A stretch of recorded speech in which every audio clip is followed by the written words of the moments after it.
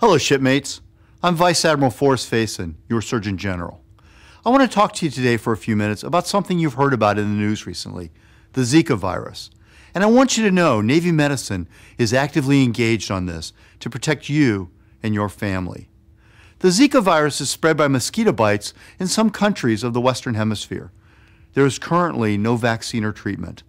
The symptoms include fever, red eyes, muscle pain, joint pain, rash, and headache, and can last from three to seven days. Not everyone who is infected with the Zika virus will have symptoms. In pregnant women, the Zika virus has been linked to infants born with birth defects. What does this mean to you? As members of our Navy and Marine Corps family, nothing is more important to us than your health and safety and that of your family.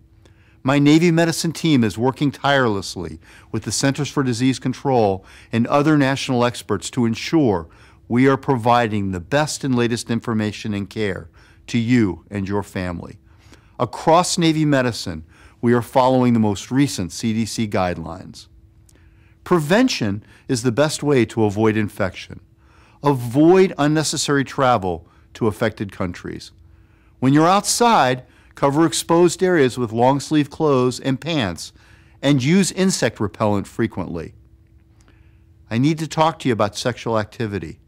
The Zika virus has been shown to be transmitted sexually from infected men to their sexual partners. For pregnant women, please ask about your partner's travel history and practice safe sex with correct condom use. If you are a man and have traveled in an affected area, please practice safe sex with your partner. When planning your travel, if you're pregnant, consider postponing unnecessary travel until after you deliver. If you must travel, take appropriate precautions. These include staying in air conditioned facilities whenever possible with closed windows, sleeping in beds with mosquito nets, wearing long clothes when outside, and frequently using insect repellents. My team of experts is working tirelessly on this situation and is in frequent contact with every Navy and Marine Corps medical department and facility around the world. Every healthcare provider in the Navy and Marine Corps afloat and ashore, has been provided the latest information and treatment recommendations. If you would like additional information, please see your healthcare provider or log on to the Navy and Marine Corps Public Health Center website or the CDC website.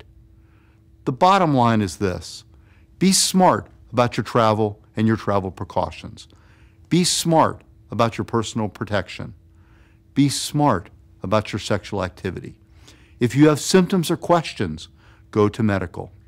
If we're smart and do what is necessary to protect ourselves, we can avoid infection, stay healthy, and complete our mission. And remember this should you need help or have questions, Navy Medicine is there for you.